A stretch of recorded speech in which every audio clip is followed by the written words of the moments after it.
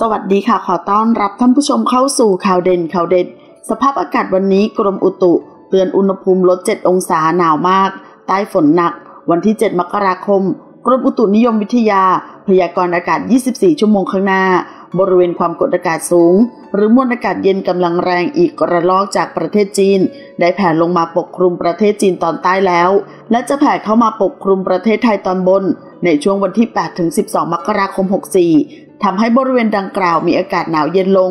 5-7 องศาเซลเซียส กับมีลมแรง โดยจะเริ่มในภาคตะวันออกเฉียงเหนือก่อน ขอให้ประชาชนบริเวณดังกล่าว ดูแลสุขภาพ เนื่องจากสภาพอากาศที่หนาวเย็นลงไว้ด้วยสำหรับมรสุมตะวันออกเฉียงเหนือที่พัดปกคลุมอ่าวไทย และภาคใต้จะมีกำลังแรงขึ้นทำให้ภาคใต้มีฝนตกหนักบางแห่ง ส่วนคลื่นลมบริเวณอ่าวไทยตอนล่าง มีกำลังแรงโดยอ่าวไทยตอนล่าง มีคลื่นสูง 2-4 เมตร บริเวณที่มีฝนฟ้าขนอง คลื่นสูงมากกว่า 4 เมตร ขอให้ชาวเรือบริเวณอ่าวไทย เดินเรือด้วยความระมัดระวัง และเรือเล็กบริเวณอ่าวไทยตอนล่าง ควรงดออกจากฝั่ง